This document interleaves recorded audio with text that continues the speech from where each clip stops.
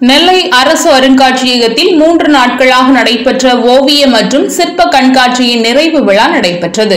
நிகழ்ச்சியில் மாவட்ட ஆட்சித்தலைவர் விஷ்ணு அவர்கள் கலந்து கொண்டு சிறந்த ஓவியர்களுக்கு பரிசுகள் வழங்கினார். நிகழ்ச்சியில் கலை மற்றும் பண்பாட்டுத்துறையின் நெல்லை உதவி இயக்குனர் சுந்தர் வரவேற்புரையாற்றினார்.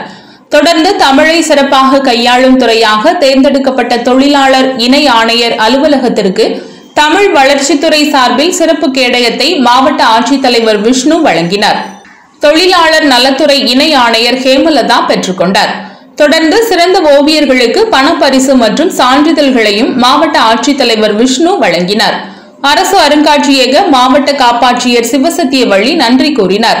நிகழ்ச்சியில் நெல்லை மண்டல தமிழ் வளர்ச்சி துணை இயக்குனர் ராஜேந்திரன் பொதிகை தமிழ்ச்சங்க தலைவர் கவிஞர் பேராம் கலை ஆசிரியர்கள் சொர்ணம் செல்லம்மாள் கவிஞர் சுப்பையா உட்பட பலர் நிகழ்ச்சியில் கலந்து கொண்டனர்.